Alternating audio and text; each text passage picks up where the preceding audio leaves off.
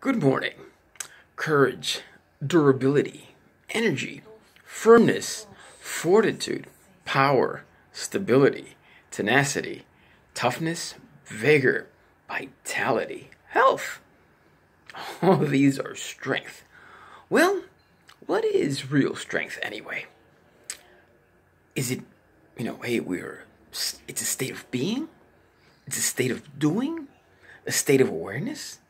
Is it just the capacity for endurance as we exist in this existence? We often misinterpret strength. Yet we believe in strength, we look for strength, strength in ourselves and others. We define strength. Maybe we don't. Yet as we evolve our own strength, we realize our own strength is not sufficient. While important, it's sort of uh, weak in comparison to reality, in, compa- in comparison to the strength of others. Uh, that's the lot with our own strength.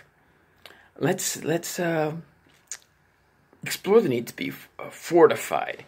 Look, there is physical strength, and that must be kept up. You know, either the gym or nutrition.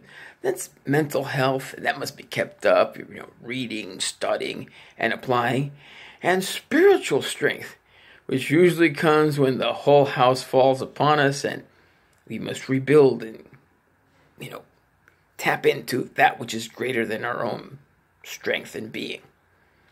And then, for that to be, the strength is to acknowledge that our strength is not sufficient.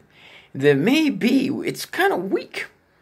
We usually are either lucky enough to be surrounded by pillars of strength in our families or we are the unlucky lucky ones who we learn to be forged by the fire of adversity. And God help us all. Now, not all strength is equal. Not all. Now, which is good to know.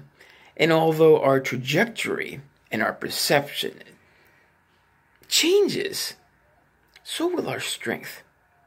Today, seek your strength be your strength for others, but don't rely on your own strength. It's kind of paradoxical. Thank you and enjoy a great day. Please visit my site at joinmefelipe.com. That's J O I N M E F E L I P E dot C O M. And please subscribe to my YouTube channel, which is F E L I P E B O L A N O S, the number one. Thank you and have a great day.